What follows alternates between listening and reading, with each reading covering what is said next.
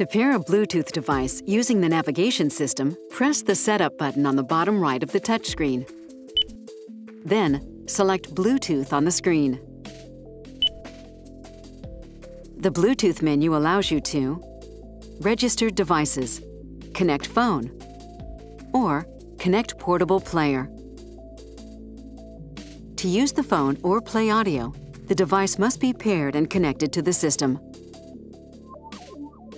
The detailed Bluetooth settings screen shows technical details where you can turn Bluetooth on or off, edit the system's name, and change the passcode.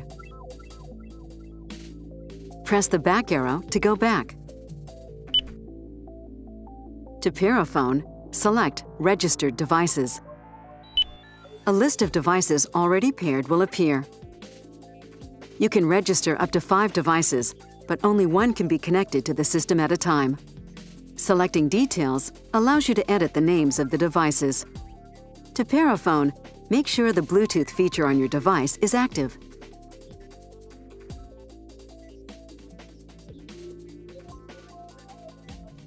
Then, select Add New.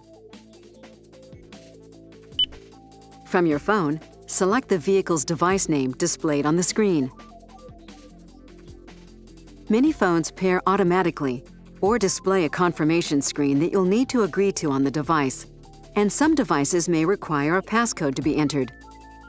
The system provides one on the Connect Bluetooth screen. Once the system connects with the device, a confirmation screen will appear. If the connection fails, follow the on-screen guidance to try registering the device again.